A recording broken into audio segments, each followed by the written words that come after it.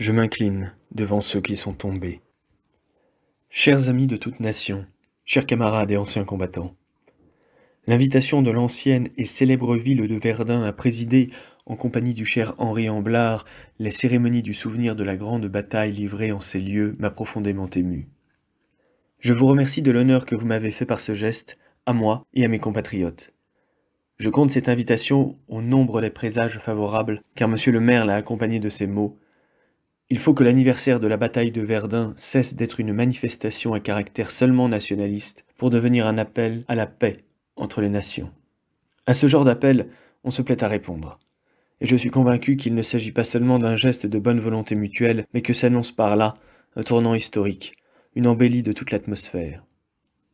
Monsieur le maire nourrit le vœu que Verdun devienne la capitale de la paix. Le lieu me semble y avoir vocation, d'autant qu'il a inauguré en 843, avec le traité de partition de l'Empire franc, la séparation de nos deux peuples. Nous ne voyons plus aujourd'hui la bataille de Verdun du même œil qu'en 1916, et il se peut que dans une centaine d'années, on porte encore un autre jugement. Les idées changent avec les générations, lorsqu'on regarde en arrière, les faits acquièrent un aspect nouveau, qui bien souvent stupéfie. Dès cette époque, à l'évidence, l'âge des guerres nationales tirait à sa fin. Ce qui explique l'acharnement des combats, leur durée quasiment sans fin, leur lente extinction sans résultat stratégique. Douaumont est plutôt un symbole de souffrance, plutôt un chemin de croix que le lieu d'un événement décisif comme le sont Austerlitz ou Sedan. Rétrospectivement, les fronts se confondent, les adversaires semblent cernés par des périls qui leur sont communs, plus forts que la volonté des grands chefs et le courage des individus, le matériel acquiert une puissance écrasante, la terre une énergie volcanique, et le feu ne menace plus d'anéantir l'un ou l'autre, mais les deux camps sans distinction. À l'époque, entassés dans les entonnoirs, on s'imaginait encore que l'homme était plus fort que le matériel. Nous étions dans l'erreur. On le voit bien aujourd'hui. Au quotidien, le progrès se fait lentement, par érosion pour ainsi dire. Et puis il y a des effondrements, comme si une voûte s'écroulait. Nous sommes perdus, à moins que nous ne changions de système. Je me souviens surtout de deux attentats de ce genre contre mon équilibre intérieur. Le premier effroi m'a frappé comme une multitude de gens.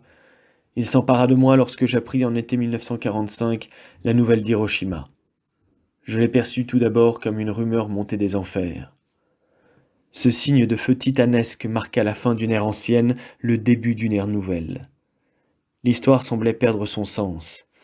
Dans l'anéantissement de cette ville lointaine se reflétait également la fin des guerres classiques et de leur gloire, d'Achille à Alexandre, de César au grand Frédéric et à Napoléon. Même terreur sourde lorsque j'appris voici peu que des cervelles techniciennes étaient parvenues à élaborer des automates pour jeux d'échecs, devant qui, à brève échéance, le plus fort des joueurs ne pourra plus que s'incliner. Chaque jour, ou peu s'en faut, nous apprenons un progrès dans le chiffrage du monde. Un trait de plus dans le tableau d'une agression qui menace de nous mettre tous échecs et mat. Il s'agit là du royaume des jeux et de la liberté spirituelle, au premier chef celle de l'artiste et de sa force de création.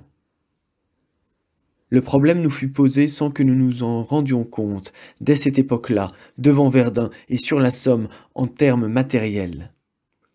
Entre-temps, nous en avons pris conscience. Il nous incombe à présent de le résoudre en son fond, en remettant en honneur cette vérité que l'homme est la mesure des choses et non l'inverse.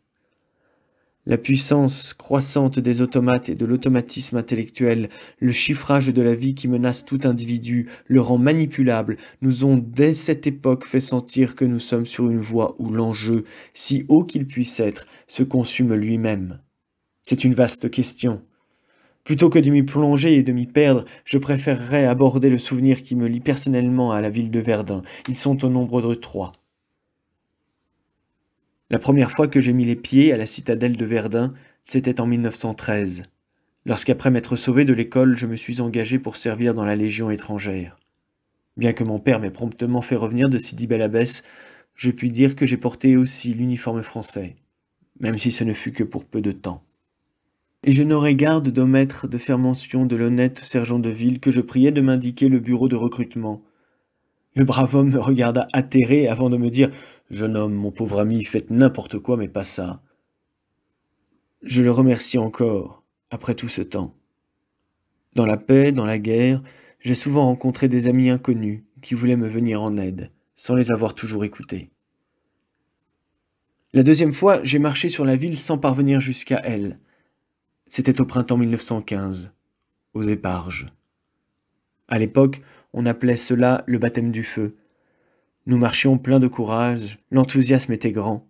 Tout était encore comme nous l'avions entendu de la bouche de nos grands-pères, puis à l'école. Dès le début, je fus touché et me retrouvai à l'hôpital. Certes, contrairement à mon très honoré coprésident, blessé devant Verdun à pareille époque, je me rétablis très vite. Mais mon régiment, les fusiliers hanovriens, à l'insigne de Gibraltar, ne fut plus jamais engagé dans cette grande bataille et combattit sur la Somme. C'est aujourd'hui la troisième fois que j'entre en contact avec votre ville et c'est la plus réjouissante. La forteresse ouvre ses portes à un ami. Permettez-moi de faire un bilan. L'époque de l'inimité entre notre peuple, d'une inimitié à quoi l'on nous formait de le plus jeune âge, est révolue. Je ne l'ai jamais acceptée. Assurément, l'individu ne saurait se soustraire au grand conflit. Il va de soi qu'il les dispute avec les siens auprès des siens. Entretenir la sympathie, comme le firent Frédéric et Voltaire, est toujours possible, même si c'est moins aisé aujourd'hui qu'à l'âge baroque. Adversaire lorsque les circonstances le réclament, mais non ennemi.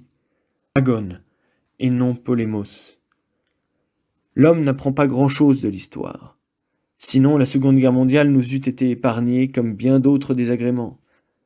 Toutefois, dans ce cas précis, il semble que nous soyons parvenus à donner l'exemple.